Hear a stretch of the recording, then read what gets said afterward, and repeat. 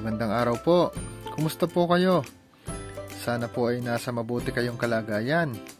Ako nga po pala si Mark and welcome to Mark Collections YouTube channel. Ngayon po ay i-share ko lang po sa inyo ito pong aking mga magnifying glass. Ayan po, uh, gumagamit po ako ng magnifying glass para po sa yung mga coins po na maliliit tulad po nitong mga ito.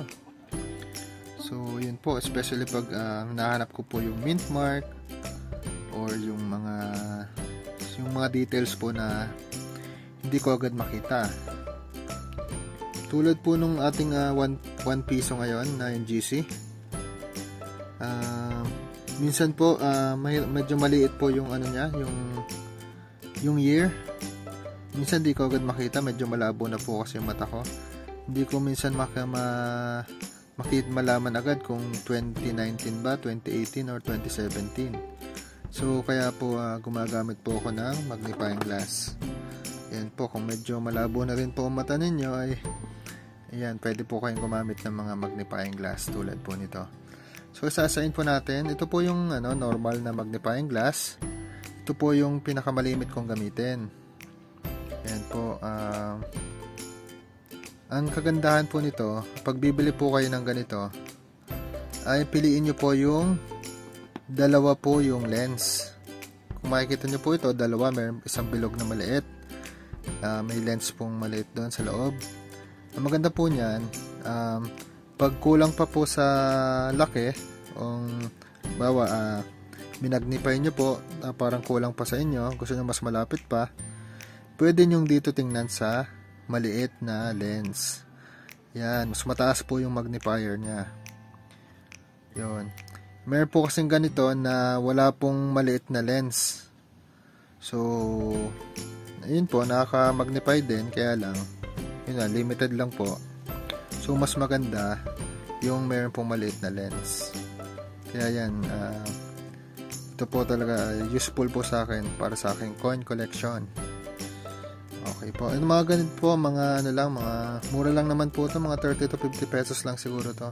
Kasi matagal na sa akin to, hindi ko tanda kung magkano, pero baka po mga ganun ang price niya. Ito naman pong sunod, ito recently ko lang po ito na nabili uh, accidentally lang kasi nakapatong lang siya nung kasamahan ng mga magnifying glass na iba eh wala yung mga kasamahan niya nag-iisa na lang siya so kinuha ko na ito maganda din po ito para mas malapit po. Pwede mong ipapatong nyo lang po sa coin. Then yun ma, ma, malapit na po. Sisilipin mo na po. Pwede rin pong idikit mo po ito sa mata mo. Tapos yun yung coin po hawak mo din. Maganda po ito, mas kitang-kita mo yung details ng coins. Ito po ay nabili ko lamang ng ano, uh, ah, 48 pesos lang po sa palengke. Mura lang po, maganda din po ito. Advisable din po na publika ito. Since mura lang naman po. Uh, maganda po yan. Ito namang isa, itong pinamahal ko nabili. Ito po ay sa Shopee ko nabili. Ayan po. Ang maganda naman po dito, ito po sobrang lapit po nito pag sinilip mo na uh, 40 times magnifier po ito yung mga nakalagay po oh. 40 times hmm. ang maganda pa po dito meron siyang may may ilaw po siya buhayin po natin yan po so pag kahit po gabi or madilim kitang kita mo po yung ano yung details ng coins kasi meron po siyang kasamang LED light ayan po na po natin. Pero para sa akin po, uh, hindi ko na dapat binili ito. Parang hindi okay na po ako dun sa dalawa eh. Pero ang bili ko po dito, ano lang, nasa 145 pesos. Kung, gusto nyo po, um, ilagay ko po sa description below yung link po kung saan ko nabili ito sa Shopee. Okay po. So, pero yun nga po, uh, contento na rin ako dito sa dalawa. Ito, mad madalang ko na lang gamitin ito po. Ito po sa mga ginagamit na ito ng mga, ano, mga jewelers, mga ganun po.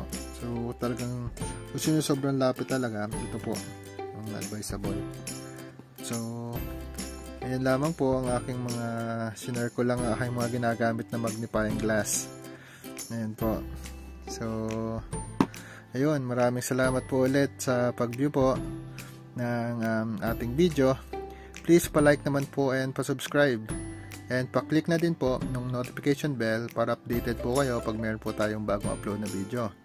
So, salamat po sa mga nag-subscribe na po. Sa mga hindi pa po, nag-subscribe, uh, pa-subscribe naman po. So, yun po. Uh, muli po ay maraming salamat. Ingat po kayo palagi. God bless po. Bye-bye po.